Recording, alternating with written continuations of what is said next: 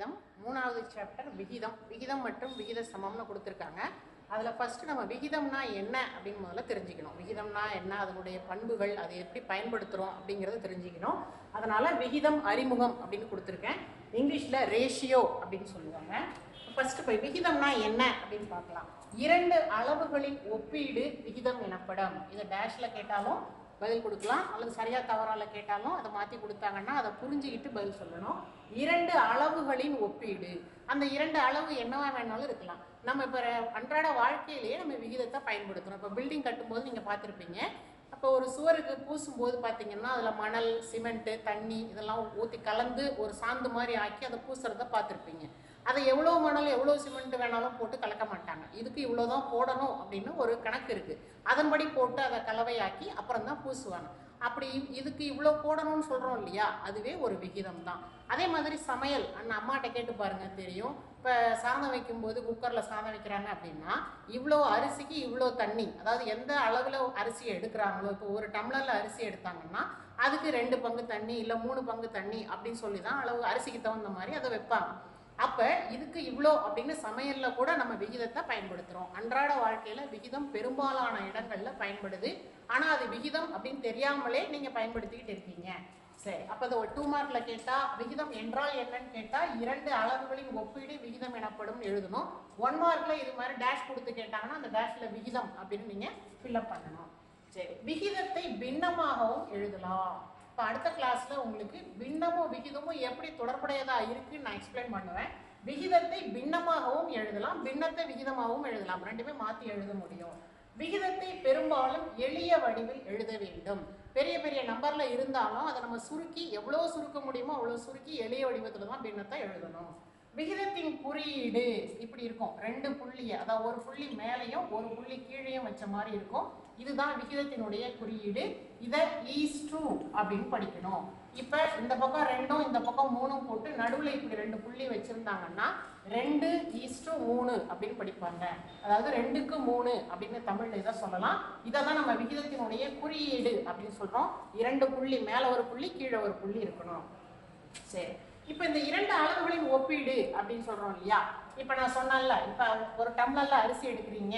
அரிசியினுடைய அளவு ஒன்று இன்னொரு பொருள் அதில் ஊற்ற வேண்டிய தண்ணி. இப்போ தண்ணி ரெண்டு டம்ளர் எடுக்கிறீங்க அப்படின்னா இன்னொரு அளவு ரெண்டு. ஒரு டம்ளர் அரிசிக்கு இரண்டு டம்ளர் தண்ணி அப்படின்னு சொல்லும்போது ஒன்று இந்த நடுவில் ஈஸ்டு சிம்பிள் போட்டு ஒன்று ஈஸ்டு ரெண்டு. இது ஒரு பங்கு இது இரண்டு பங்கு. அதுதான் இரண்டு அளவுகளின் ஒப்பீடு அப்படின்னு சொல்கிறோம் இந்த விகிதத்தை பின்னமாகவும் எழுதலாம். இப்போ இந்த வடிவத்தை பின்னமாக எப்படி எழுதணும்? முதல்ல இருக்கிற நம்பரை தொகுதியில் போடணும். அடுத்திருக்கிற நம்பரை பகுதியில் போடணும். இப்போ இதை ஒன் பை டூ இந்த விகிதத்தை இப்படி எழுதலாம் இந்த பின்னத்தை இப்படியும் எழுதலாம்.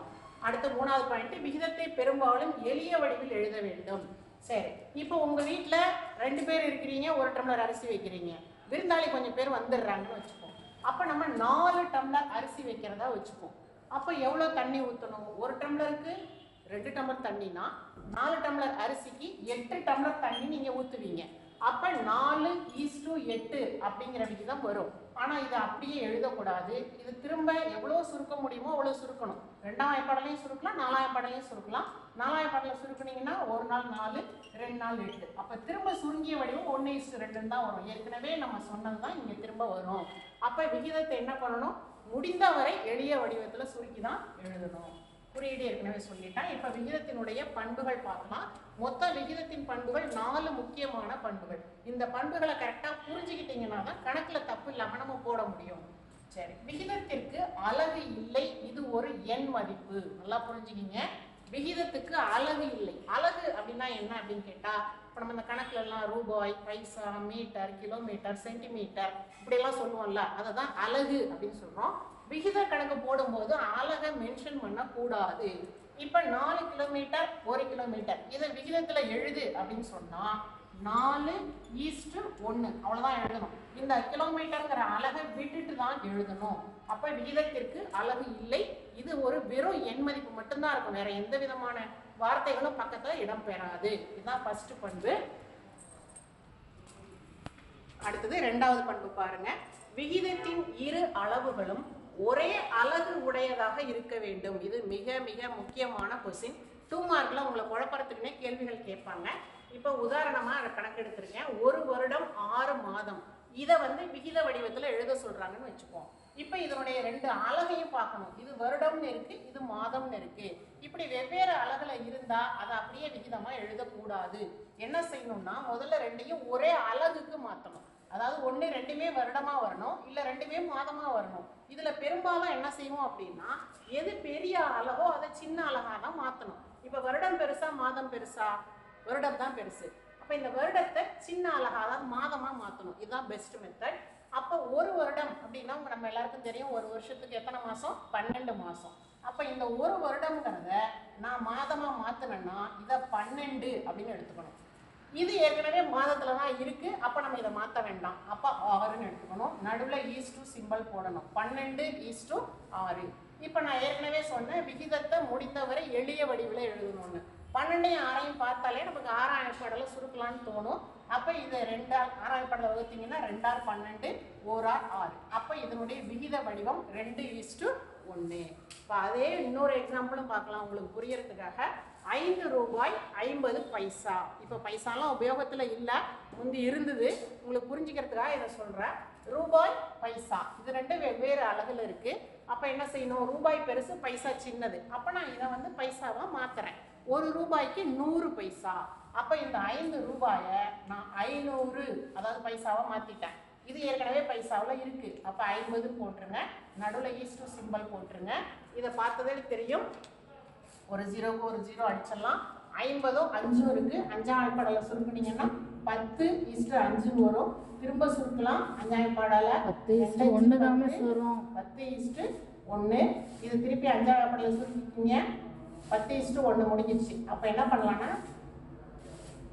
ஐம்பது இஸ்டு அஞ்சு. இது ஸ்ட்ரைட்டாக அஞ்சாம் பாடலை சுருக்கினாலே பத்து இஸ்டு ஒன்று கணக்கு முடிஞ்சிருச்சு. இப்ப திரும்ப கவனிங்க. மூணாவது பாயிண்ட் விகிதத்தில் ஒவ்வொரு எண்ணும் உறுப்பு என்று அழைக்கப்படும். இப்ப மூணு இஸ்டு நாலு அப்படின்னு ஒரு விகிதம் எழுதுறோம் அப்படின்னா இது இந்த மூணுங்கிறது முதல் உறுப்பு நாலுங்கிறது இரண்டாம் உறுப்பு. அப்ப இந்த ஒரு ஒரு எண்ணையும் உறுப்பு அப்படிங்கிற வார்த்தையால நம்ம சொல்லலாம். அடுத்த நாலாவது பாயிண்ட் விகிதத்தின் உறுப்புகளின் வரிசையை மாற்றி எழுத முடியாது. நல்லா புரிஞ்சுக்கங்க. இப்ப நான் சொன்னேன்ல அந்த கொத்தனார் பயன்படுத்துற விகிதம். மணல் மூணு மூட்டையும் சிமெண்ட் ஒரு மூட்டையும் கலக்கிறதா வச்சுப்போம். இப்போ மணல் மூணு மூட்டை சிமெண்ட் ஒரு மூட்டைன்னா விகிதம் மூணு இஸ்டு ஒன்று அப்படின்னு தான் எழுதணும். அதாவது முதல்ல எதை குறிப்பிடுறாங்களோ அதனுடைய எண் தான் ஃபஸ்ட்டு வரணும். ரெண்டாவது வருது ரெண்டாவது குரூப்பாக தான் வரணும். இதை மாற்றி ஒன்று இஸ்டு மூணு அப்படின்னு எழுதிட்டீங்கன்னா என்ன அர்த்தம் ஆயிடும்னா மணல் ஒரு மூட்டையும் சிமெண்ட் மூணு மூட்டையும் அர்த்தம் ஆகிடுது ஆனால் அது உண்மை இல்லை. அப்போ என்ன செய்யணும்? கணக்கில் என்ன கொடுக்குறாங்களோ அதனுடைய அல நம் என்ன தான் ஃபஸ்ட்டு எழுதணும் ரெண்டாவது கொடுக்கறத ரெண்டாவது தான் எழுதணும். வரிசையை மாற்றி எழுதுனா அதனுடைய பொருள் மாறிடும். அதனால் வரிசையை மாற்றக்கூடாது விகிதத்தில். இதுதான் நாலாவது பண்பு. இப்போ மொத்தம் விகிதத்தில் நாலு முக்கியமான பண்புகள் சொல்லியிருக்கேன். பண்புகளை தெளிவாக புரிஞ்சுக்கிங்க. அப்போ தான் டூ மார்க் ஃபைவ் மார்க் எதுவாக இருந்தாலும் கணக்கு தப்பு இல்லாமல் போட முடியும். விகிதத்தினுடைய குறியீடு சொல்லியாச்சு. விகிதம்னா என்ன?